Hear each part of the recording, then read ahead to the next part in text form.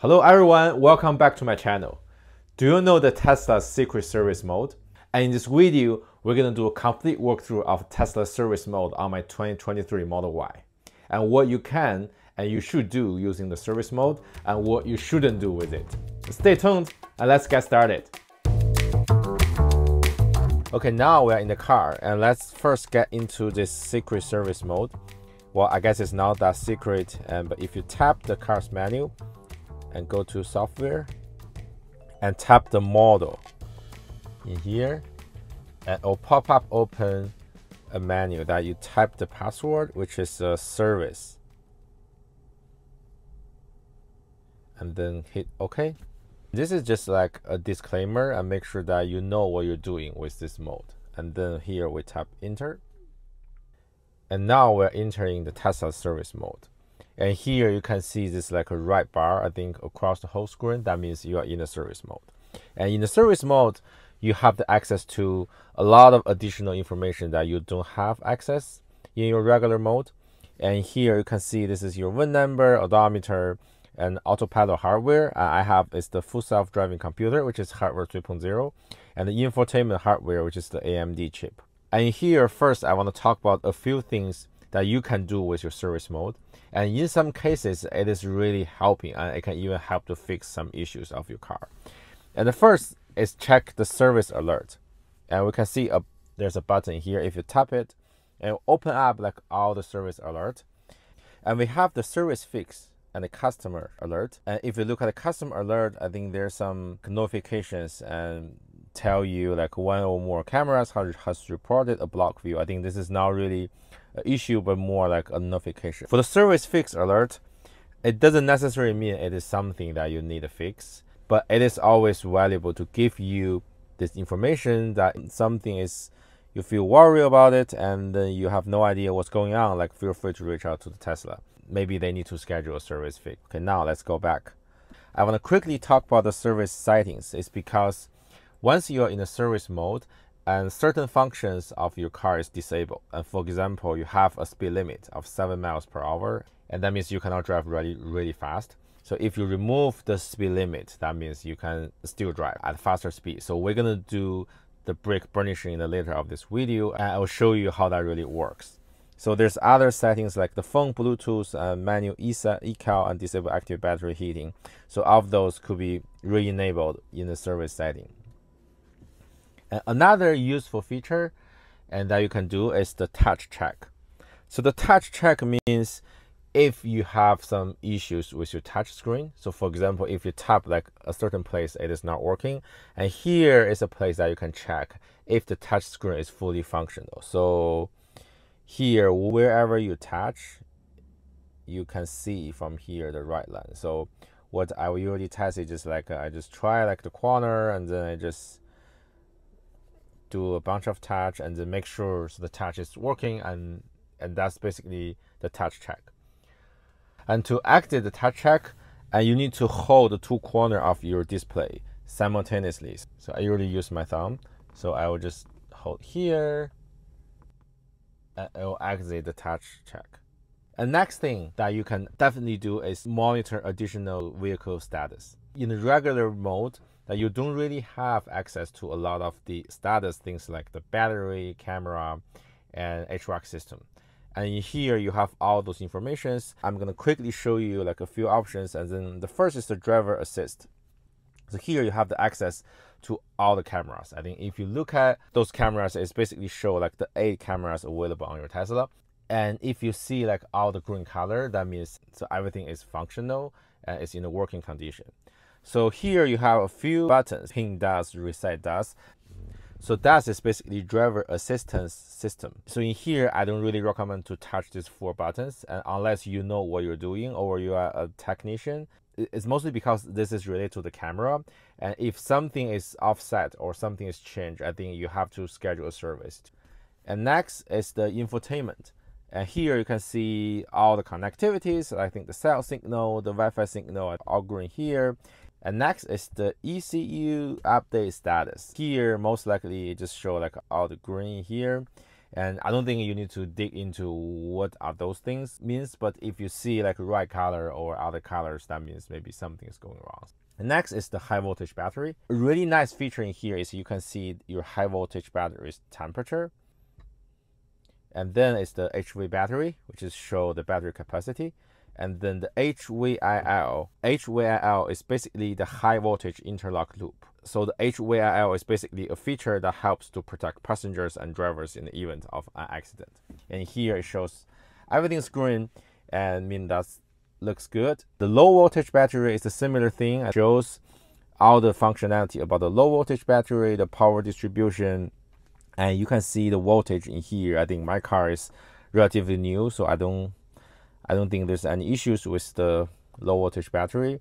And the HomeLink is if you want to install your HomeLink retrofit, if you really want to install this yourself, I think you can follow the instruction here. And by just tap the HomeLink retrofit, unlock the gateway, and then I will show you very quickly in the later of, of this video how to unlock it. And then you just follow the instruction and then you'll be able to install your HomeLink. Okay, cool. And that is everything that you can monitor and look at from your service mode. It is very useful and even though there's not a lot of actions, but it gives you an idea like how your car is doing. And next, a useful feature is resetting the steering angle. And this setting is in the chassis.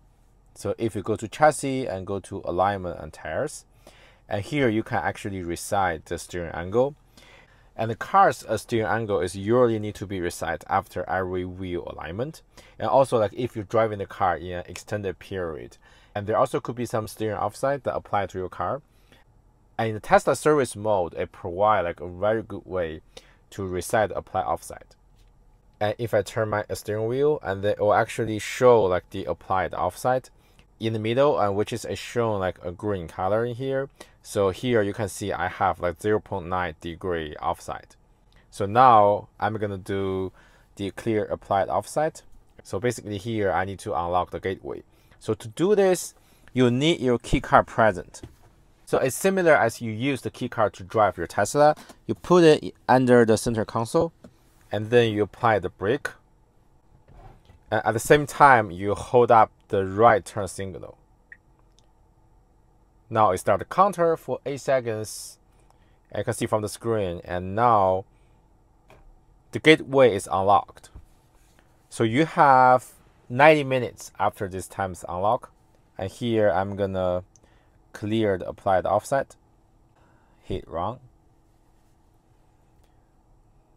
Okay, that's really fast. It's a successfully reset ESP and the EPAS and the DI angle offset. Now I'm gonna tap close. So after you clear the offset, uh, you can drive a little bit of your car and then it will show like zero degree in here. So that's it for clear the, the apply offset for your uh, steering wheel. Okay, now I'm gonna show you another useful feature in the service mode which is the window calibration. And now if I, go to closure and tap window, and here you can see like all the four windows, there's like calibrate button that you can calibrate your window. Uh, I think there's one time driver side rear window cannot roll all the way up. And then I just do like a quick calibration from the service mode and then actually fix issue. It, it works like a charm. So here I'm gonna do it again and then kind of show you how this works. So now if I tap calibrate, tap wrong.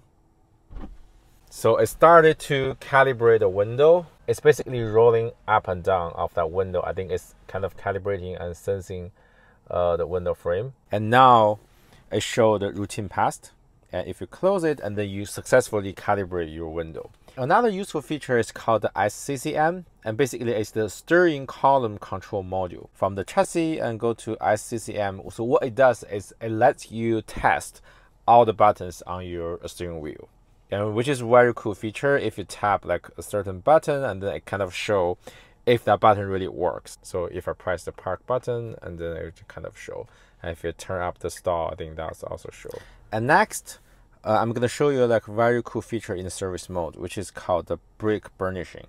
And if you go to uh, chassis and go to brakes. And here I usually I don't touch the the brake blade and options, and also I don't usually use the EPB service mode.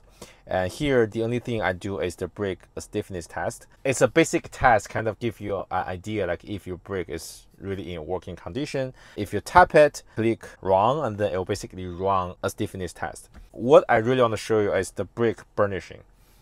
So what is brake burnishing? So the process of the brake burnishing is really help to bed the brake. So it's more like every time when you install the new brake pad and rotor, and it kind of like apply the pressure to the brake and help to bed the braking system. It can basically put the brake in like a comfortable and then smooth mode. But for Tesla, it is like a little special. It's because Tesla have this all this like regenerative braking that you don't usually use your brake.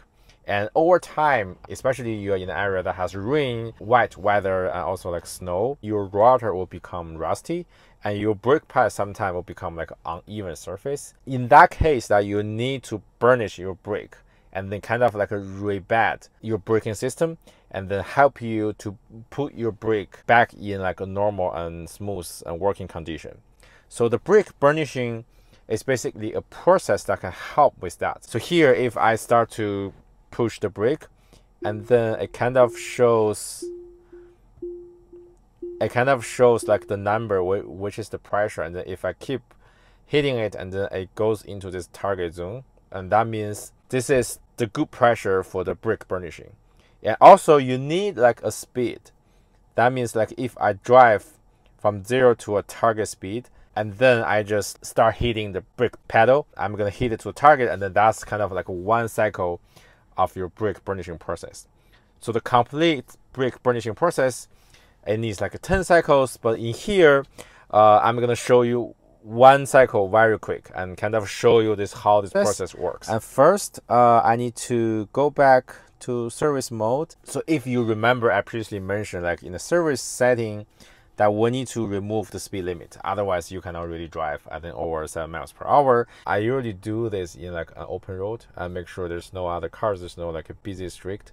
So if we start the guided process, and now I'm start to accelerate to the target speed. Okay, good. And now you start to apply the brake. And make sure it's constantly in the target. Okay. Now we finish one cycle and there's a cooldown period. I think in this period, it's good that you don't hit the brake. So once the cooldown period is finished, you can start the next cycle. Okay, and now you can see the cycle, it shows number one. And now let's start the next cycle. I start to accelerate to 50. And then now I'm hitting the brake in the target range. So make sure there's no car behind you. I think that's kind of scary. Okay, and now another cooldown. So basically you get idea. And this is how we burnish the brake. If you complete like 10 cycles, uh, it will basically complete the, the burnishing process. The brake burnishing is especially useful if your brake is starting like acting weird or is making like a squeaking sound.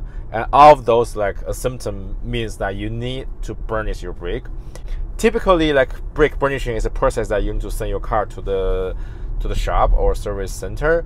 And Tesla service mode really provide this useful way to help you to burnish your brake that you can do it yourself.